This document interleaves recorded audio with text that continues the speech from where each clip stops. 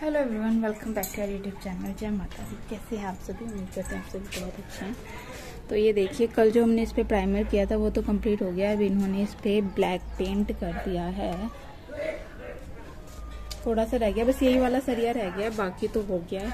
और मैं तब तक क्या करने लगी हूँ, रात के ना चावल रखे थे। एक्स्ट्रा बन गए थे तो काफ़ी सारे रखे हैं। तो मैं बस क्या करने लगी हूँ, प्याज चॉप कर लिए मैंने उसके लिए और बस फ्राई करने लगी हूँ। तो करते हैं। तो आज मैं क्या करती हूँ, पहले ना चावलों के अंदर ही मिर्च और नमक डाल देती हूँ। धनिया नहीं डालूँगी, मेरे एक सब्सक्राइबर कहते हैं, मैं चावलों में भी धनिया डाल दी फ्राई कर तो नहीं डाल रही हूँ जी, बिल्कुल नहीं डाल रही हूँ। तो कढ़ाई रख देंगे इधर तो चलो शुरू कर लेते हैं।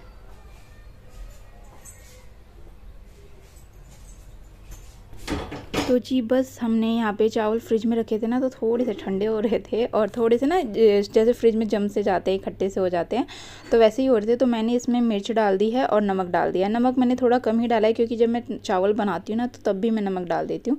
तो मैंने बस यहाँ पर थोड़ा सा ही नमक डाला और मिर्च मेरे को जितनी मुझे टेस्ट में रखनी है, आप अपने स्वाद के अनुसार जितना तीखा आप पसंद करते हैं, उस हिसाब से डाल सकते हैं।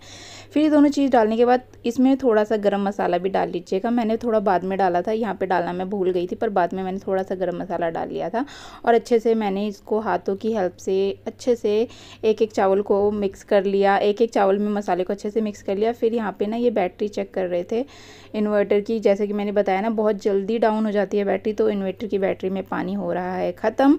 तो बस वही देख रहे थे तो अब उसमें पानी डालना पड़ेगा।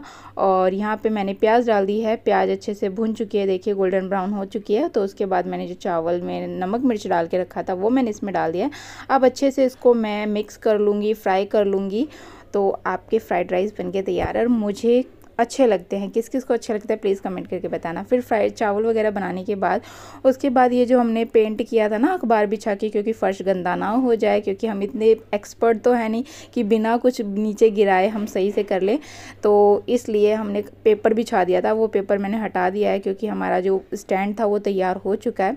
उसके बाद पेपर वगैरह हटाने के बाद मैं दोबारा से किचन में आ गया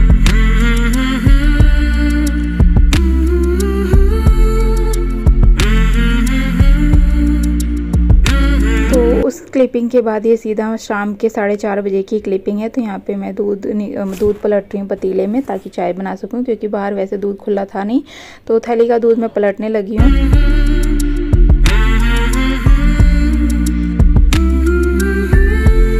तो जैसे कि फ्रिज में थैली रखी रहती है, हमारे अमूल का दूध आता है तो ये थैली फ्रिज में रखी रहती है ना तो जो इसमें क्रीम होती है ना, वो थैली में जम सी जाती है। तो थोड़ा सा पानी डाल के मैं इसको अच्छे से शेक कर लेती हूँ और फिर उसको मैं दूध में ही डाल देती हूँ। तो जिससे वो क्रीम दूध में आ जाती है और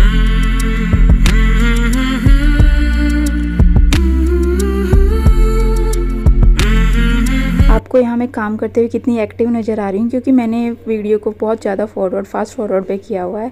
वैसे अगर इस टाइम अगर मैं इसको नॉर्मल वीडियो स्पीड पे चलाती ना तो मैं इतने धीरे धीरे चल रही क्योंकि मैं सो के उठी थी। और सो के उठने के बाद ना हाथ पैरों में, और वैसे भी ना, पता नहीं क्या हाथ पैरों में मेरे बहुत ज़्यादा सूखी चीज़ सी चलती रहती है कि बस उनको दबाते जाओ दबाते जाओ, ऐसी वाली हालत हो रही है। तो मैं बहुत धीरे धीरे धीरे काम कर रही थी। फिर ये भी आ गए थे किचन में, जब मैं चाय बना रही थी। तो ये कह रहे थे क्या कर रहे हो? तो फिर मैंने कहा, चाय बना रही हूँ। इनको लग गई थी दोबारा से भूख तो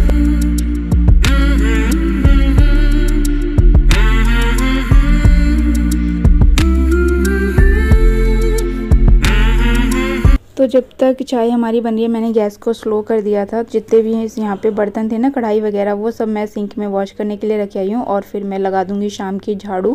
क्योंकि चाय रखने और ये सब करने में पौने पाँच का टाइम हो ही गया था तो शाम की झाड़ू दिन छिपने से पहले लगा लेनी चाहिए। तो बस मैं यहाँ झाड़ू लगा लूँगी और इतने झाड़ू लगाऊँगी, इतने हमारी चाय भी बन के तैयार है। तो अभी आ जाइए शाम की गर्मा गर्म चाय और साथ में आलू के चिप्स मैंने फ्राई किए थे। तो अभी आ जाइए।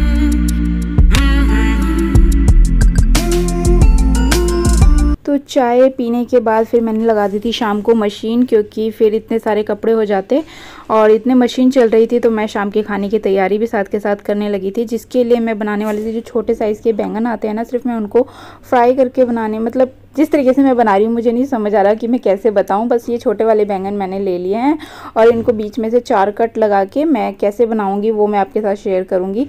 तो अगर आपको ये रेसिपी अच्छी लगे और मेरी वीडियोज़ आपको अच्छी लगती हैं तो प्लीज़ चैनल को सब्सक्राइब कर लीजिए।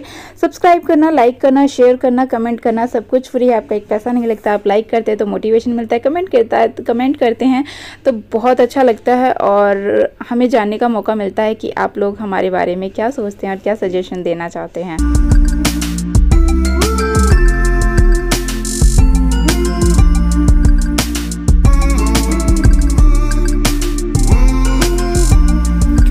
हम सिर्फ़ एक वीडियो के माध्यम से एक दूसरे को जानते हैं और जब आप कमेंट करते हैं तभी हमें पता चलता है कि हम अच्छा कर रहे हैं या नहीं कर रहे हैं। तो बस यहाँ पे मैंने बैंगन कट कर लिया और बैंगन को काटते वक्त ना बहुत गौर से काटना पड़ता है क्योंकि कभी कभी बैंगन काड़ा भी निकल आता है कभी कभी उसमें कीड़े भी निकल आते हैं और इधर ना मैंने सलवार को थोड़ा सा ऊँचा किया हुआ है क्योंकि कपड़े पानी में निकालने पड़ रहे हैं ना तो फिर वो गीली हो जाती है नीचे से उसके पहुँचे तो मैंने ऊपर को टांगी हुई है तो अब इधर जब तक हमारे कपड़े वगैरह हो चुके हैं तो बस कपड़े मेरे यहाँ पे अब तक वॉश हो चुके हैं। मैंने कपड़े सुखा भी दिए हैं और अब मैं यहाँ पे इसमें बैंगन की सब्ज़ी में तड़का लगाने लगी हूँ, जिसके लिए मैंने रिफाइंड ऑयल लिया था। रिफाइंड ऑयल डालने के बाद मैंने इसमें जीरा डाला और प्याज और लहसन कट करके डाला है। लहसन मैंने कूटा नहीं है। वो डालने के बाद उसको कलर चेंज होने तक भून लूँगी मैं। तो जब तक हमारा प्याज और लहसुन अच्छे से भुना, मैंने सारे सूखे मसाले कटोरी में ले लिए थे, वो मैंने डाल दिए, जिसमें मैंने हल्दी, लाल मिर्च, धनिया पाउडर, गरम मसाला, नमक और थोड़ी सी कसूरी मेथी। ये सब मैंने लिया है डालने के बाद, मसाले डालने के बाद, उन्हें भूनने के बाद मैंने जो बैंगन कट करके रखे थे, वो मैंने उसमें डाल दिया है।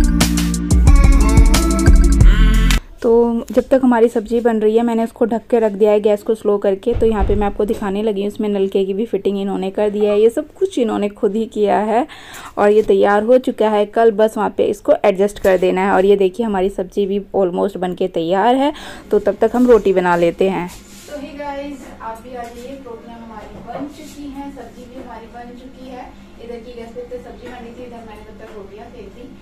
और तो गर्मा गर्म रोटी सब्ज़ी खाने के लिए। दही मिली नहीं तो दही नहीं है, वरना स्वाद में दही होती है, छाछ होती ना तो बहुत अच्छा लगता। पर कोई नहीं, ऐसे भी ये सब्ज़ी बहुत ज़्यादा टेस्टी लगती है। मुझे तो पसंद है, आप एक बार ज़रूर ट्राई कीजिएगा और जिन्होंने ट्राई कर रखी है, वो कमेंट करके ज़रूर बताइएगा। मैंने ना इसमें आधा नींबू भी निचोड़ा है बाद में। मतलब दो मिनट इसको ढक के छोड़ने के बाद मैंने इसमें आधा नींबू निचोड़ दिया था, क्योंकि मेरे पास अमचूर नहीं था। अदरवाइज़ अमचूर डाल देते तो नींबू डालने की ज़रूरत नहीं पड़ती। तो मैंने इसमें आधा नींबू निचोड़ दिया है। तो आप भी ये कर सकते हैं। हम रोटियों पे घी लगाना था, और देखो मैंने घी का डब्बा रख दिया अंदर। तो घी लगाते हैं हम। और इन्होंने जो सिंक है, वो पूरा कंप्लीट हो गया है। बस अब कल मॉर्निंग में उसको वहाँ पर प्लेस कर देंगे, जहाँ पे वो पुराना वाला सिंक लगा हुआ है ना, उसको वहाँ से हटा देंगे। और नया वाला इसको वहाँ पे लगा देंगे। क्या क्या मतलब क्या बताएँ? क्या बताएँ? तो रोटी हमारी हो चुकी हैं। और बस बर्तन वॉश करती हूँ किचन वगैरह को क्लीन कर देती हूँ। और बस बाद में जब खाना खाना होगा तो खाना खा लेंगे। अभी फ़िलहाल मुझे भूख नहीं लग रही है। और गर्मी में तो पानी पी पी के मेरा पेट भरा रहता है। पानी इतना ज़्यादा पीती रहती है, इतना ज़्यादा पीती रहती है कि भूख कहाँ से लगे।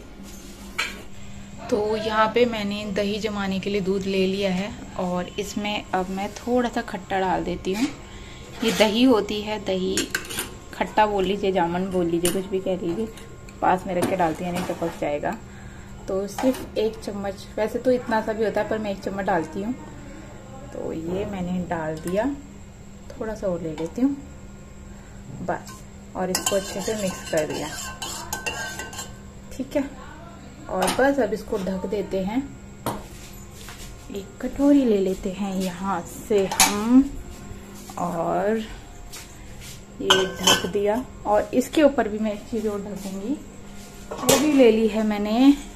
और ये कवर कर दी। तो दही मैंने जमा दी है और थोड़ा सा दूध गुनगुना कर लेती हूँ मतलब गर्म कर लेती हूँ। और क्योंकि तो दूध गर्म कर लेते हैं।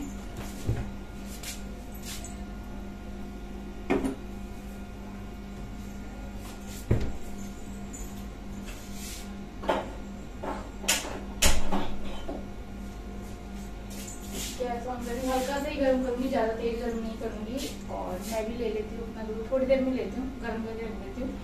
और बस यही था आज का मेरा ब्लॉग उम्मीद करती हूँ आपको पसंद आया हो, पसंद आया तो लाइक कर दीजिएगा कमेंट कीजिएगा, और चैनल को सब्सक्राइब नहीं किया तो प्लीज़ चैनल को सब्सक्राइब कर लीजिएगा कल मिलती हूँ आपसे एक नई वीडियो के साथ। नई होप नई आयशा, नई मंगल, नई जनी के साथ। घर पे रहे, स्वस्थ रहे, मस्त रहे, अपना और अपनी फैमिली का ध्यान रखें। बाय थैंक्स फॉर वॉचिंग जय माता दी।